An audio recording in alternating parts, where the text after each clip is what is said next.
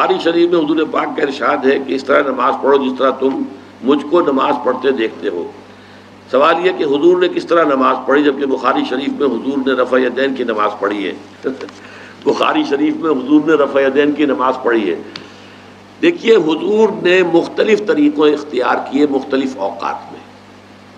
اب صحابہ کا طرز عمل یہ ہوتا تھا کہ مثلاً ایک روایت آتی ہے کہ ایک صحابی حضور سے ملنے آئے، کوئی بدوئی تھے، دیہات کے آدمی تھے۔ انہوں نے حضور کو دیکھا کہ آپ کا گریبان کھلا ہوا تھا، آپ نے بٹن لگائے ہوئے نہیں تھے۔ پھر انہوں نے ساری عمر اپنے گریبان کے بٹن نہیں لگائے کہ میں نے محمد کو اس طرح دیکھا ہے، صلی اللہ علیہ وسلم۔ اب یہ ان کا جذبہ ہے، ان کی نیکی ہے، اتباع کا جذبہ ہے۔ یا ایک سفر میں کسی کو دیکھا، کسی نے دیکھا کہ حضور ایک درخت کے نیچے سے ہو کر گزرے۔ اب وہ جب بھی جاتے تھے ادھر اس کے نیچے سے ہو کر گزرتے تھے۔ چاہے اس کی کوئی مقصد نہیں، لیکن یہ بھی ایک اتباع کا جذبہ ہے۔ تو اس میں یہ ہے کہ نماز کی بعض چیزیں ایسی ہیں کہ جن میں معلوم ہوتا ہے کہ حضور کچھ اس میں رد و بدل کرتے رہے کبھی اپنے ہاتھ بالکل کھلے چھوڑ کر بھی نماز پڑھی ہے۔ کبھی آپ نے ہاتھ نیچے باندھے ہیں، کبھی اوپر باندھے ہیں۔ اسی طریقے سے رفع دین کبھی ایسا بھی ہوا ہے کہ آپ نے وہ کی ہے، جیسے کہ اہل حدیث حضرات کرتے ہیں۔ اور جیسے کہ یہ شیعہ کرتے ہیں، وہ اس سے بھی زیادہ کرتے ہیں رفع دین اہل حدیث سے آگے ہیں، وہ بہت آگے ہیں رفع دین کے اندر۔ اور ایک رائے یہ ہے کہ حضور نے آخری زمانے میں آ کر سارے رفع دین چھوڑ دیے تھے، سوائے یہی جو تکبیر تحریمہ کے وقت ہے۔ اب یہ روایات، اب یہ بحث ہو جائے گی علمی، کس روایت کا کیا مقام ہے، کس کی کیا حیثیت ہے۔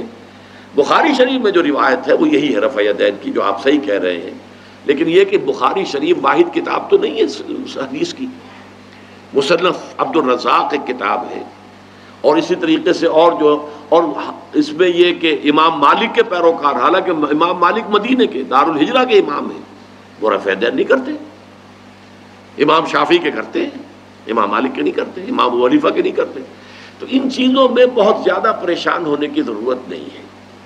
اصل جو معجزہ ہے حضور کا اور اسلام کا وہ یہ ہے کہ چودہ سو برس گزر گئے لیکن نماز کے ضمن میں اتنا اختلاف نہیں ہے کہ تمام مسلمان باجماعت نماز نہ پڑھ سکیں۔ دیکھیے، رفع دین کرنے میں جماعت ٹوٹی نہیں۔ آپ نے کیا یا نہیں کیا، جماعت کی فارمیشن برقرار رہی۔ فرض کیجیے، کوئی شخص یہ سمجھتا کہ پہلے سجدہ ہے، پھر رکو ہے۔ تو اب یہ دو آدمی ساتھ نماز نہیں پڑھ سکتے، جن میں سے ایک کے نزدیک پہلے رکو ہے، پھر سجدہ ہے۔ دوسرا یہ سمجھتا کہ نہیں، پہلے سجدہ ہے پھر رکو ہے۔ نہیں ہو سکتی ان کی جماعت اب جمع نہیں ہو سکتی۔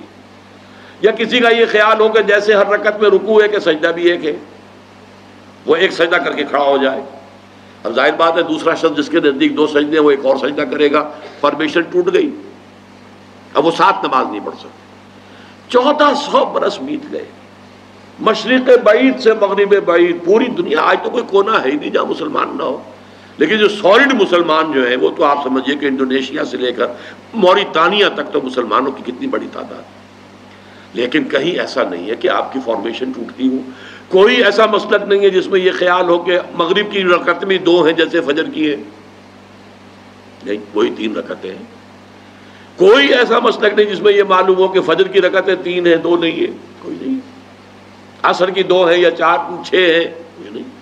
وہی رکعتیں، وہی رکعت کی ترتیب، پہلے کھڑے ہونا ہے، پھر رکو ہے، پھر کھڑے ہونا ہے، پھر سجدے میں جانا ہے، پھر بیٹھنا ہے، پھر سجدہ، پھر کھڑے ہونا فارمیشن نہیں ٹوٹتی، شیعہ ہو، سنی ہو، اور اس میں حنفی ہوں مالکی ہوں شافعی ہوں حنبلی ہوں زیدی ہوں ظاہریہ ہوں کوئی بھی ہو، کسے باشد، تمام مسلمان مل کر جماعت سے نماز ادا کریں گے اور ان کی جماعت ٹوٹتی نہیں۔ یہ ہے جس کو ہمیں سمجھنا چاہیے۔ یہ کیوں ہے؟